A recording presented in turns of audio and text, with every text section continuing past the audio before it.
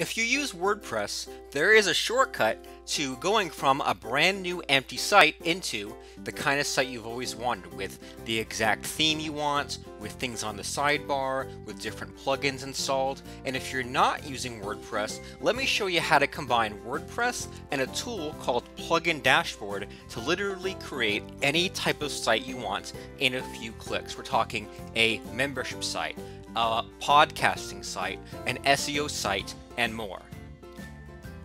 We're logged into the back end of our WordPress site, and like I said, WordPress is a tool that you can install on your site for free to easily add content and change the look and feel of your site. And then we're going to combine the plugin we've just purchased from plugindashboard.com for $17.00, and we've installed it on our blog in the plugins area. You can quickly add your most commonly used plugins to your WordPress dashboard.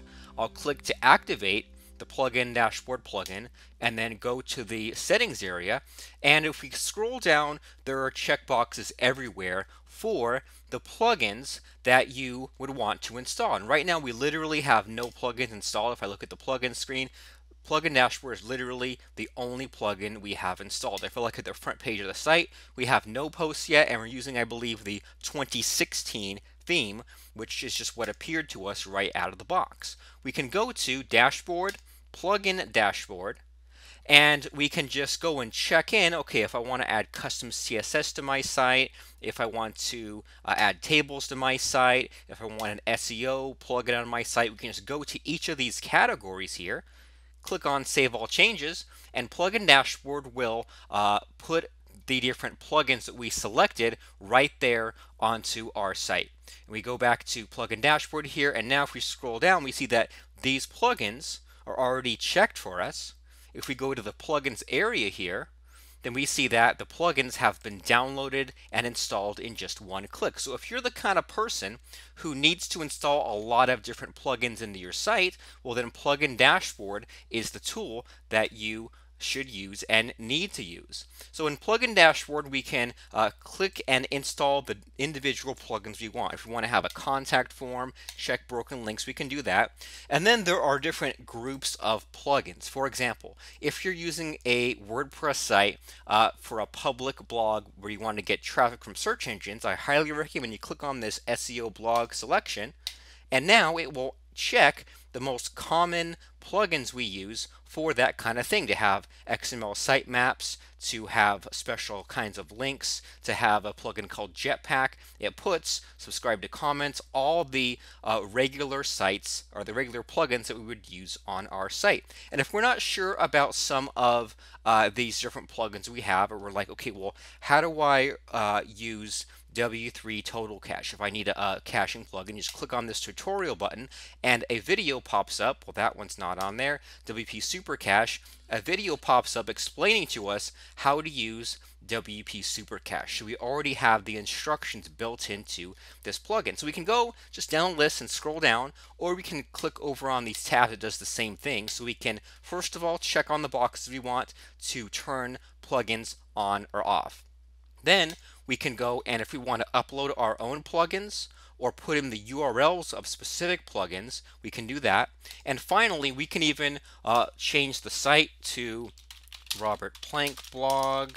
We can set up the um, the permalinks. We can set a front page on our site. We can change the theme of our site. So maybe I, I like this theme better than the one that's already in there. So we can just make our selections here between the plugins we want on or off, uh, including security plugins, some premium plugins, things like that. We can add in our own plugins and we can set whatever settings for WordPress, including the title of the site, look and feel of the site, and so on. Click on install and uninstall selected plugins. Wait a second, and here we go. It's installed the theme that we chose, and it's installing all the different plugins that we said we want on the site. Give it just a couple more seconds for it to finish up everything. And there you go in about 10 seconds. It has uh, changed up some of the settings on the site. Uh, we can see now the name of the site has changed to Robert Plank Blog.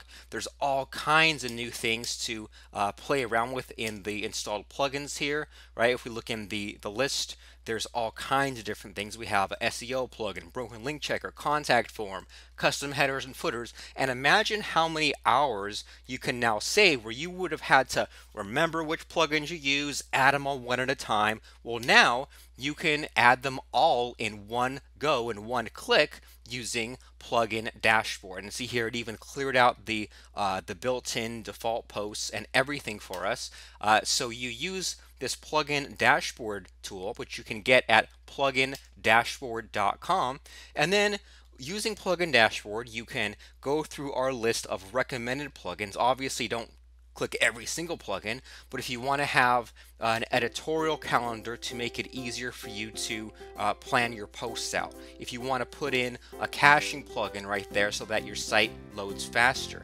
if you want to use Google Webmaster Tools, why not add that one in and just click on the different plugins you want to use and uh, click on install selected plugins change whatever settings you want to make to uh, the WordPress site so if I wanted to remove my site description for example change the theme around to something else that I prefer then we just do that click on install and uninstall selected plugins and then it will make all those changes appear right there in our WordPress site. The tool is called Plugin Dashboard, works with WordPress, with any version of WordPress, and you can use it to add, remove, or customize any groups of plugins and save yourself literally hours of time every time you create a WordPress blog from scratch. I'm Robert Plank from plugindashboard.com. See you in the download area. Go get it at plugindashboard.com and thank you.